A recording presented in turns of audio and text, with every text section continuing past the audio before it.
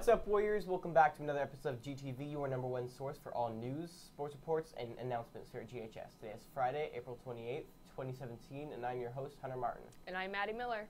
First off, today we have some pictures from the Oregon Shakespeare Festival. Let's roll it. The trip to the Ashland, Oregon Shakespeare Festival was exciting. Students from Galt High School were able to see fascinating plays and interact with actors after their play Noises Off at the Oregon Carbet Theater. Not only that, students were also allowed to explore the beautiful town of Ashland and visit gift shops, bakeries, restaurants, and see small monuments. The first play scene was Julius Caesar, in which the audience had enjoyed exceptionally. Others expressed their excitement towards the performance and told each other about how well the play was performed. In my personal opinion, the first act was not as interesting as the second. However, almost all of the audience had stood in standing ovations as the house lights drew up and the actors took their bows. After that, Shakespeare in Love was one of the most heartwarming and hilarious plays that students had seen. Dramatic lighting and detailed costuming took the audience into the realm. It was certainly the most entertaining. Actors on stage were able to yank on heartstrings and find a lot of comic relief. The final performance was Mojada, a Medea in Los Angeles, a dramatic play revolving around a family's hardships at achieving their dreams. Many in the audience were charmed by the humor in the family and were left dazed at the climax of the performance. Quickly ended. Thanks for those wonderful pictures, Winona. Now here's a Better Choices segment with Richard.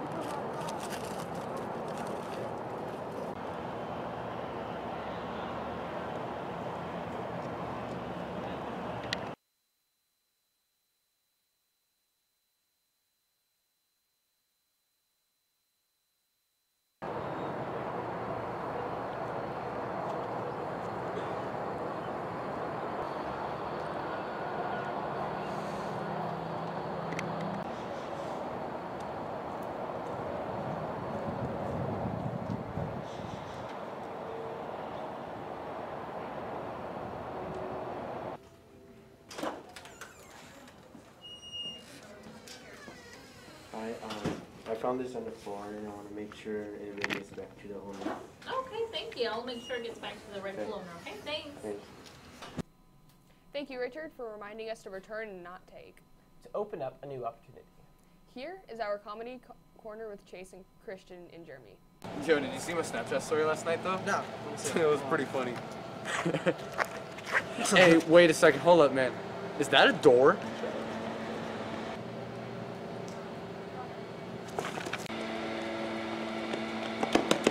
What the heck do I do? Do I knock on it? I, I don't. Oh god!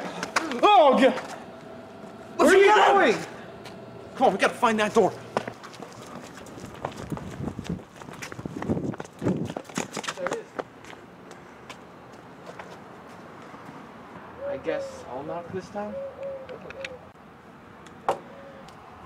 Jeez! You really need to stop jumping in my arms. I know. I can't believe we've been out here for hours trying to find this freaking door, man. It's ridiculous. I don't think it's gonna be here. Uh, I'd second guess that. You gotta be freaking kidding me, man. In the middle of a football field, are you kidding me? Come on, I only Who put the door out here? I only come out here like when it's like Who puts the door out here? I don't know. I bet it has that kid involved. Push the door. No, no, no, no, no. Who says you have to go through the door, man? Why don't we just go around it? Hey, how you doing? Oh my oh god! my God! Get him!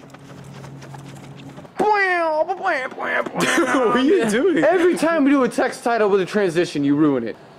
Can't believe it's been like two days and we still can't find this stupid door. I thought it was like a week. Same thing, practically. Oh, I'm using the bathroom real quick. Cool. Dude, the door's in here. Wait, what? Yeah, the door's been light out.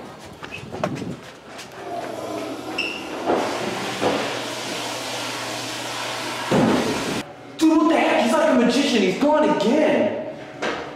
We gotta find that damn door. All right, let's go then. I can't see how he can't find the stupid door. It's been two days. It was even in a bathroom stall. How does it?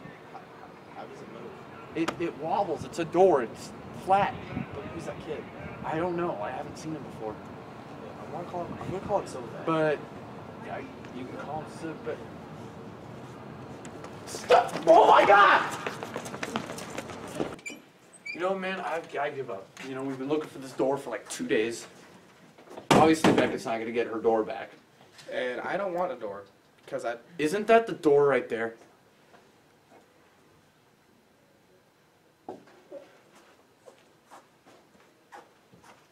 Well, uh, shoot. Um, how did he get the door to disappear last time? oh he snapped. Okay. All right. One, two, three.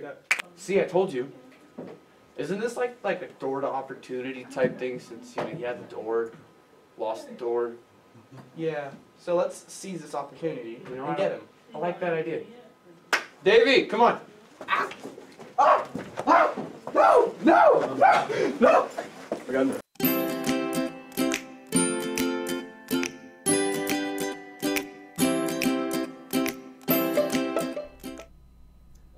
Well done, guys. Next off, we have an advertisement with Jeremy and JJ about staying safe on the road.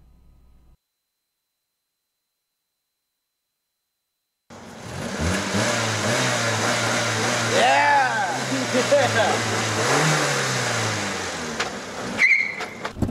oh, oh dude. Oh, what, happened? What'd you do? I think I hit the curb.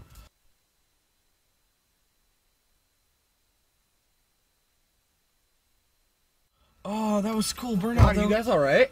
I, I think so. Oh, What happened? I was showing off and I hit the curb. oh man. You should go to all good driving school, dude. Oh, maybe. Yeah, Teach you how to drive behind the wheel. yeah. Thank you.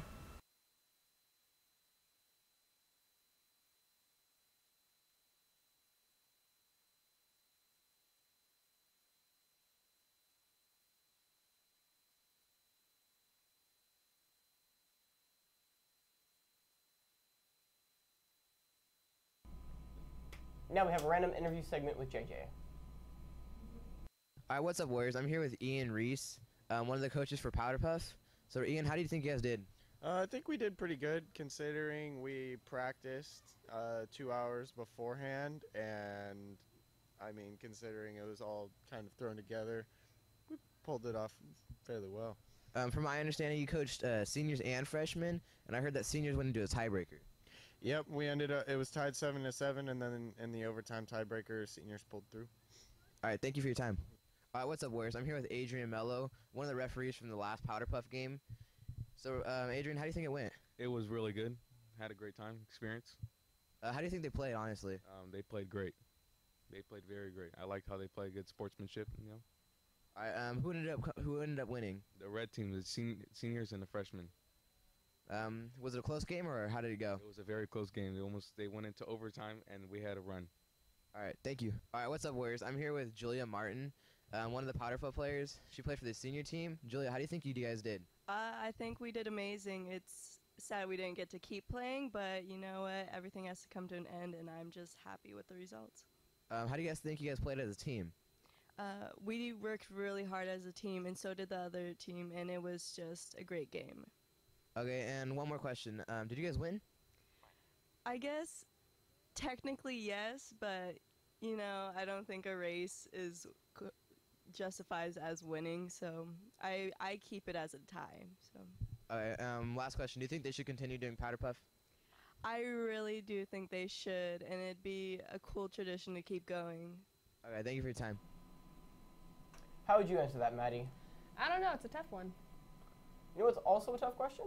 Should I be scared to answer this question? No, but the question is, is how you're going to pay for college. But thanks to Eric, Anthony, Marky, and Jonathan, we're going to learn about some scholarships you can apply for. Do you want to make money for going to school when scholarships are for you? There are plenty of scholarships out there, some for sports, other for grades, but there are other scholarships out there that many people don't know about. These are some examples of these scholarships that most people probably don't know about. First, there's a prom guide cutest couple contest worth $1,000. There's also the scholarship as well, Clowns of America International Scholarship, Common Knowledge Challenge Scholarships, $3,000. Doodle for Google Scholarship, $30,000. American Fire Sprinkler Association Scholarship, $2,000. National Potato Council Scholarship, $10,000. Scholarship Red, $500. Wholesale Halloween Costume Scholarship, $500. Thanks for that, guys. Now here are sports with Lewis. PN. Uh, probably the triple jump. All right. Um, how fast could you com- complete that objective? Oh, I jumped about 39 feet. As far distance. Yeah. I don't think I could do that. How did you train so well to do that? Um, just working on my form and working on my explosiveness. All right. What's something you would like to improve on over time? Uh, just my form with my arm movements. Just incorporate more arm workouts. All right. Well, thank you for the interview. No problem. Yo. Okay, we're good. Okay, I'm here with Rogelio. Okay, you do track, is that correct? Yes. Okay, what category do you compete in? Um, I'm in the sprints. Sprints? Okay. What do you believe is your strongest overall, all the categories? Uh, the 200 meter. 200 meter? How fast can you do that? Uh, 2508. That's pretty good. Do you think you're the best at it? No. Who is the best? Uh, don't recall. Hmm. All right, well, thank you for this interview. Thank you.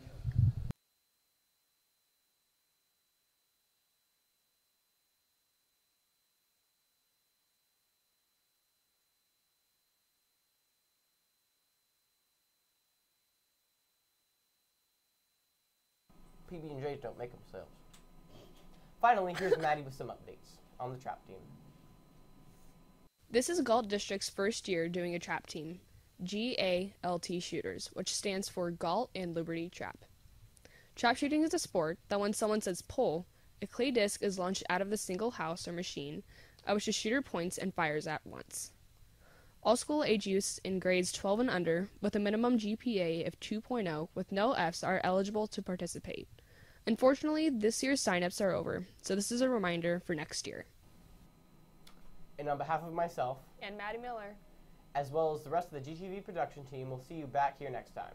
Keep it classy, Galt High.